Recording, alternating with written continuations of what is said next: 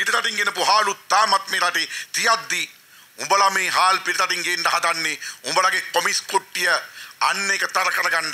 දැන් පිටර ගෙනාවා. පාලනය කෙරුවද? දැන් රටින් තව කොච්චර જાති ගේනවද? පාලනය කෙරුවද? රටින් ගෙනපු හැම එකකින්ම කොමිස් නම් ගහලා තියෙනවා.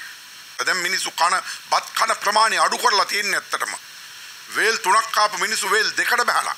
වේල් දෙක කාපු මිනිස්සු එක වේලට බහලා. වෙළඳ ඇමතිවරයා ප්‍රකාශ කරනවා කැබිනට් මණ්ඩලයේ තීන්දුවක් ගත්තලු හාල් මෙට්‍රිට්ටොම් ලක්ෂයක් පිටරටින් ගේන්න. ඒ කියන්නේ හාල් කිලෝ කෝටි 10ක් පිටරටින් ගේන්න තීන්දුවක් ගත්තා. මේ තීන්දුව ගැනීමට හේතුව හාල් මිල පාලනය කරන්නලු.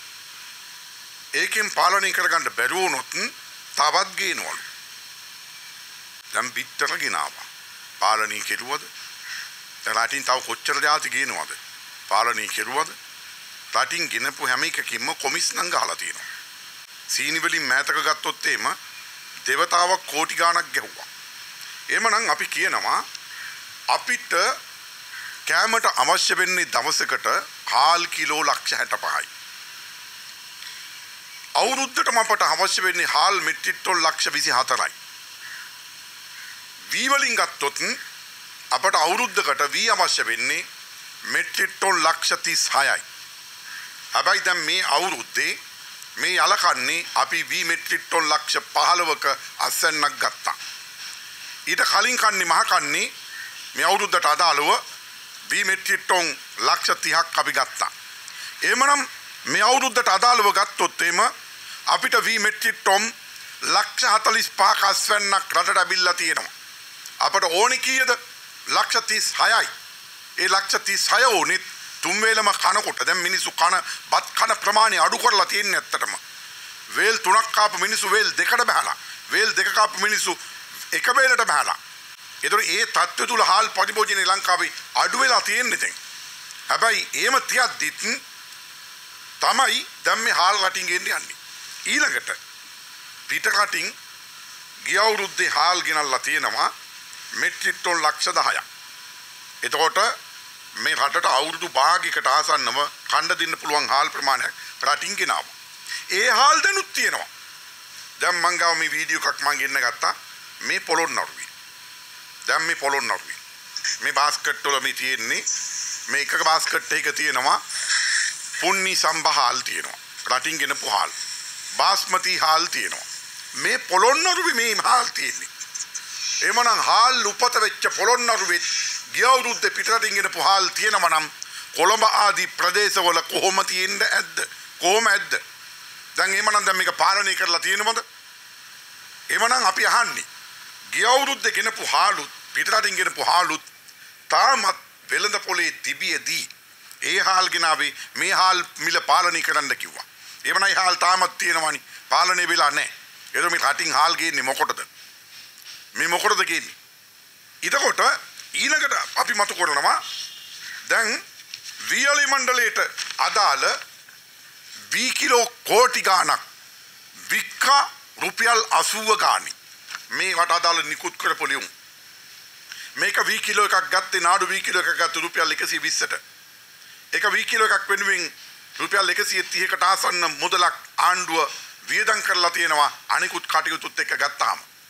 එහෙමනම් 130කට ආසන්න පිළිවෙලක් දරපු වී ටික ඒ වෙලාවේ ගිය අවුරුද්දේ වී කිලෝ එක රුපියල් 160ට ගියා. හෙට්ට කොබ්බ කඩුව ගොවි පරීක්ෂණ ආයතනේ මෙදත් ඔක්කොම අපි අරගෙන තියෙනවා. එතකොට රුපියල් 160ට වී කිලෝ එකක් යද්දී මේ වී කිලෝ එක රුපියල් 80ට වික්කා. 80ට වික්කා. වියලි මණ්ඩලේ ආණ්ඩුව මයින් දමල වෙලා වික්කා. එතකොට අන්න රජයේ සතුව තිබුණු වී ටික තුට්ටු දෙකට විකුණලා දැන් රජයේ වී මිල පාලනය කරන්න මොකද්ද කරන්න යන්නේ? හාල් රටින් ගෙන්න හදනවා. තමුන් ගාව තමුන් සම්තකේ තිබුණු වී ටිකත් තුට්ටු දෙකට වික්කා. රුපියල් 50කට වැඩි අලාභයක් තියාගෙන ඒකේ කොමිස් ගත්තා මෙවුන්. ඊළඟට මෙන්න නිකවලතිය ගබඩාවට පහුගිය දවසේ පියා. මේ විගණන විමසුම් තියෙනවා. නිකවලතිය ගබඩාවේ පමණක් වී කිලෝ 4 ලක්ෂ 39000 පන්සිය හතලිස් අටක් අතුරුදහම්. ඒ වීවල සමස්ත වටිනාකම ගත්තොත් රුපියල් ලොලින් හාරකෝටි අනුලක්ෂ ධාතුන්දස් හාගසිය පණහක් කෝටි පහකට ආසන්න මුදලක්. වීත් නෑ සල්ලිත් නෑ. මෙයෙන් රජයේ බහර තියෙන වීවලට සිද්ධ වෙන දේ. ඊළඟට මෙයෙන් රජයේ බහර තියෙන වී වීටික කුණු කොල්ලට තුට්ටු දෙකට විකුණනවා කොමිස් කණ්ඩ. එතර මේ වීටික කළමනාකරණය කරලා වෙනද පොලට හාල් ටික ඒවලා යම් තරගයක් ලබා දීලා මේ හාල් මිල පාලනය කරනවා වෙනුවට මුන් මොකද්ද කරන්නේ? රජයේ සතුව තියෙන වීටිකත් උන් අහිමි කරගෙන ඒකනුත් කොමිස් කාලා ඊට පස්සේ හාල් රටින් ගේන්න හදනවා. තව සති 8යි. තව සති 8කින් ගුවන් කැපෙනවා. තව සති 8කින් ගුවන් කැපෙනවා. ඊට පස්සේ කට තුල දැන් වී අතිරික්තයක් තියෙනවා මේ වෙනකොට. ඕන වෙන්නේ 36යි මෙට්‍රික් ටොන් ලක්ෂ 36යි.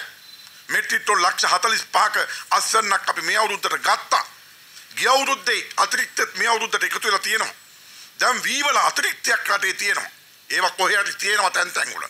එහෙම තියද්දි හාල් කිලෝ කෝටි 10ක් මේ රටට ගෙනල්ලා දැම්මට පස්සේ මොකද වෙන්නේ? තව සති 8කින් ගෝයන් කැපෙනවා.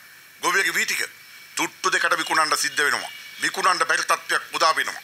ඊට පස්සේ අනිත් පැත්තෙන් ගත්තාම තන්නේ කර වසහාල් මේ රටේ මිනිස්සුන්ට කවවන්න මේ ලෑස්ති වෙන්නේ.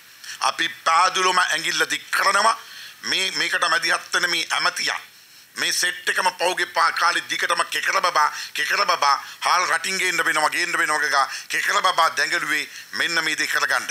අපි අහනවා ඔයලාට මේකෙන් කොමිස් එක කීයක් එනවද? සීනිවල රු 725යි බද්ද රුපියල් 50 කෙරුවා. ඊට පස්සේ ගෙනාව ස්ටොක් කරලා ගොඩ ගහලා තිබ්බා. ඊට පස්සේ ඒකෙන් මා කෝටි ගණක් ගැව්වා. මීට කලිනුත් සීනි වලින් ගැහුවා. ලොකු ලුණු වලින් ලොකු ලුණු බද්ද 100 100කින් නැග්ගුවා. 2018 නග්ගල වෙලා මොකද්ද කරේ? ඊට පස්සේ ඒ රුපියල් 30 ගණන් වලට ගෙනිපු ලොකු ලුණු රුපියල් 180 ගණන් වලට වික්කා. ඒ වගේ ගැහුවා. අලවලින් ගහනවා. හැම එක්කින්ම ගහනවා. අපි අහනවා දැන් මේ හාල් කිලෝ කෝටි 10ක් රටින් ගේනකොට මේ එක හාල් කිලෝ එකකින් රුපියල් 10ක කොමිස් එකක් තිබ්බොත් මුන්ට කොහොමද? ගාන කොහොමද? රුපියලක කොමිස් එකක් ඉක්කුට ගියොත් එහෙම කෝටි 10ක් කොමිස් එක. එහෙමනම් මෙන්න මේ කොමිස් එක බලාගෙන තමයි මේ හාල් පිටරටින් ගේන්න ලෑස්ති වෙන්නේ. ඒ නිසා අපි අනතුරු අඟවනවා. සෙල්ලම් කරන්න ලෑස්ති වෙන්න එපා. කරුණාකරලා මේ වැව් පිටාර ගලනවා. වාම් දොරට ඔක්කොම ඇරලා. එහෙනම් මේ මහකන්න පිළිබඳව කිසිම අවිනිශ්චිතභාවයක් නැහැ. මහකන්නේ සාර්ථකස්වන්නක් එනවා. එහෙනම් රටේ අතිරික්ත වී ප්‍රමාණයක් අතිරික්ත හාල් ප්‍රමාණයක් තියද්දි පිටරටින් ගෙනපු හාලුත් තාමත් මේ රටේ තියද්දි උඹලා මේ හාල් පිටරටින් ගේන්න හදන්නේ උඹලගේ කොමිස් කුට්ටිය අන්න එක තර කරගන්න. කොමිස් එක ගන්න. අපි පැහැදිලිවම ඇඟිල්ල දික් කරනවා. ඔය හැම හාල් කිලෝ එකකින්ම උඹලා අනිවාර්යෙන් කොමිස් ගන්නවා. කොමිස් කාක්කෝ. ඒ නිසා කරුණා කරලා මේක නවත්තන්න ඕනි. මේක නවත්තුවේ නැත්තම් මේ අවුලුගෙත්තුරු වැඩේ කරන්න ගියොත් එහෙම අනිවාර්යෙන් උඹලට විරුද්ධව මේ රටේ ගොවි ජනතාව විතරක් නෙමෙයි මේ රටේ අනිකුත් සකල විද ජනතාව සම්බන්ධ කරගත්තු දැවැන්ත විරෝධතාවයක් අපි එල්ල කරන ආණ්ඩුවට මේ ආණ්ඩුව දාලා දමල ගහලා ගෙදර යන තැන දක්වා මේ රටේ ජන අරගලයට අපි අනිවාර්යයෙන්ම පණ පොවනවයි කියන එක මේ වෙලාවේ ප්‍රකාශ කරනවා.